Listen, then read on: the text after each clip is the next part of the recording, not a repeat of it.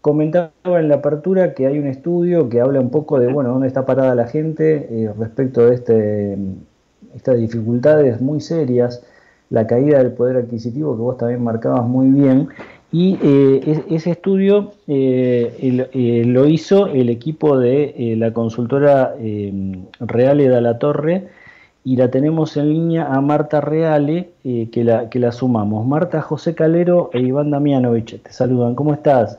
Hola José, Iván, ¿cómo están? Y un saludo para la audiencia también. Bueno, muy bien. Eh, Marta, eh, ustedes estuvieron bastante amplio el trabajo que hicieron, pero a mí me interesó sobre todo el capítulo vinculado con eh, qué dice la gente de su situación económica y sobre todo hay una pregunta muy buena que ustedes hicieron que es cuánto está dispuesto a aguantar la gente, ¿no? Este escenario tan complicado que estábamos comentando recién con Iván. ¿Por qué no nos contás un poco eso?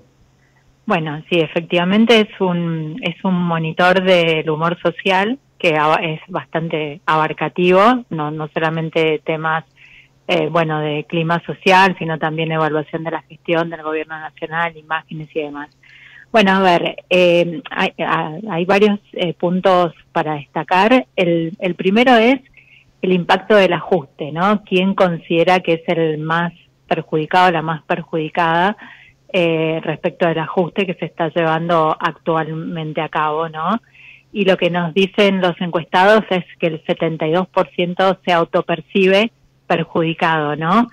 eh, apenas un 10,6% cree que son la es la casta de los de las corporaciones y un 7,7% la casta de la política. Entonces, para para sintetizarlo, la gente cree un 72% cree que el ajuste lo está pagando la gente común, la clase baja, media, jubilados y demás, y apenas un 18% a la casta, ¿no? Bueno, recordemos que mi ley había prometido, había dicho que iba a ser un 60% a la casta y un 40% a la ciudadanía. Bueno, eso no está siendo hoy percibido eh, por, por la sociedad, pero bueno, hay que decir que igual hay un margen de tolerancia y de, si se quiere, mirada complaciente con el gobierno de mi ley, porque aún conserva niveles de imagen positiva eh, muy importantes, ¿no? Bastante cercanos a la, al porcentaje que obtuvo en el balotaje, aunque sí hay que decir que el nivel de aprobación de su gestión es un poco más bajo,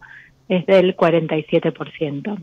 Pero bueno, sí, sí. Buenas noches, Iván Damianovich, ¿cómo te va? ¿Cómo estás? Iván, ¿cómo estás?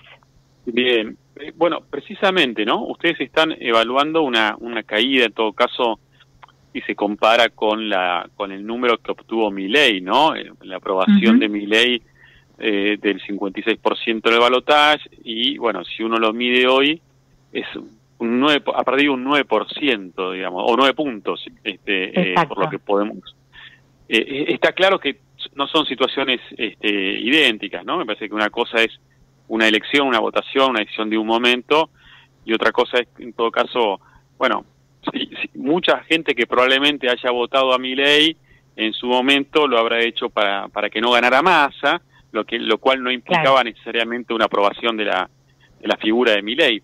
Pero, eh, de todas formas, eh, vos hablabas de una, eh, bueno, de una especie de, tolerancia social.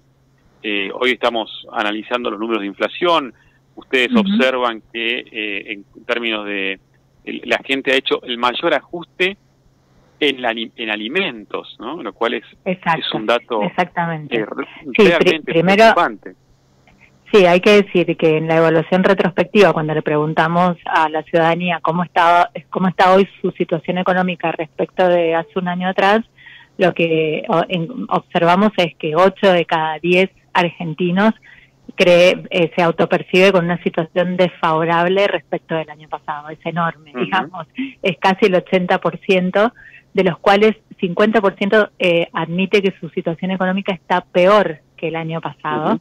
Con lo cual, bueno, estamos hablando de números eh, realmente eh, muy, muy contundentes en términos de impacto de este ajuste. Y después, como vos acabas de comentar, cuando le consultamos a, la ciudadanía en qué, en qué artículos o servicios debió ajustarse más, bueno, el 40% dice que en alimentos en general.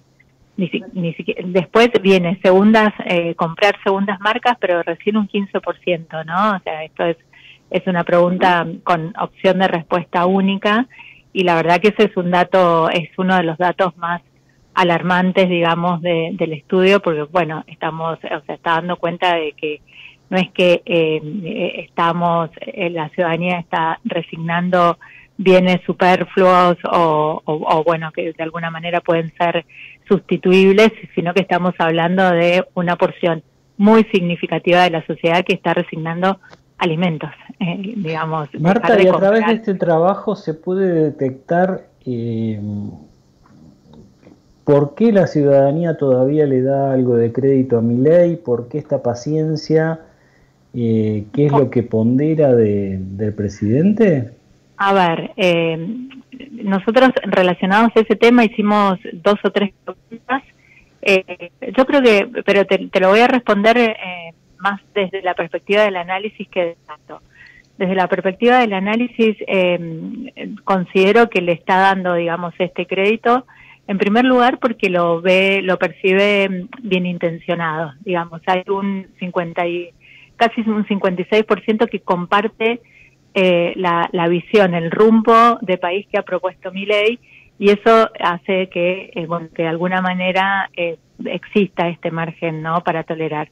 Y segundo, porque, bueno, en algún punto entiende la ciudadanía que todavía, por lo menos hasta ahora, gran parte de lo que está sucediendo no es responsabilidad de mi ley, sino que es responsabilidad del gobierno anterior, sino que esto es, todo esto es consecuencia ¿no? del gobierno anterior.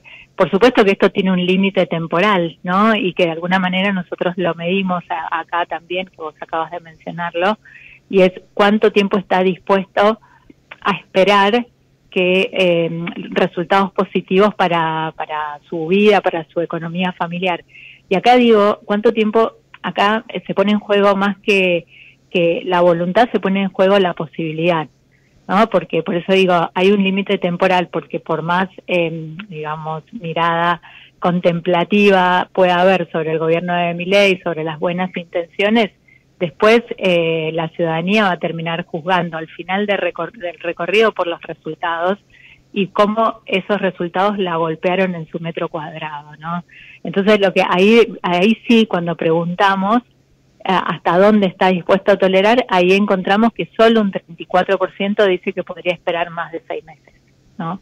Entonces ahí estamos eh, viendo un, una merma significativa respecto del, del respaldo, digamos, hacia la gestión de mi ley proyectada en el tiempo. Después esto puede ser mejor o peor el mes que viene cuando volvamos a medir y, y va a depender todo, digamos, de cuánto de cuánto se vea afectada la sociedad. Por ejemplo, ahora estamos viendo en el interior del país un gran, un gran revuelo y una gran polémica por el tema de la quita de subsidio al transporte, donde gran parte de las provincias están pensando en duplicar o más el, el boleto del transporte público y eso sin duda va a tener un impacto fuerte y va a erosionar claramente la imagen de mi ley, perdón, sobre todo porque mi ley es un producto del interior recordemos eso, gana fundamentalmente porque saca una gran diferencia en el interior del país, especialmente en las provincias de Córdoba, Mendoza y Santa Fe, que estaban, digamos, despechadas con el kirchnerismo por, eh, por tantos años de discriminación, ¿no? los, ciudadanos del interior, y lo digo con mucho conocimiento de causa porque mido muchísimo en, en el interior y que puedo dar fe de eso, los ciudadanos del interior sentían que siempre estaban discriminados y que siempre se beneficiaba al ciudadano de, AMBA eh, en detrimento de ellos, ¿no? Entonces, bueno, habrá que ver cómo afecta a la imagen de mi ley y al gobierno nacional, digamos, esta decisión tan dura e intempestiva, ¿no? del gobierno de Milei de, de recortar así drásticamente estos fondos para la provincia que insisto, al final del recorrido, al final del día, como les guste llamarle, terminan afectando al metro cuadrado del ciudadano de a pie, más que al gobernador de turno o al dirigente de turno. Marta, gracias, que te vaya muy bien. No, por favor, a ustedes, que tengan buena noche.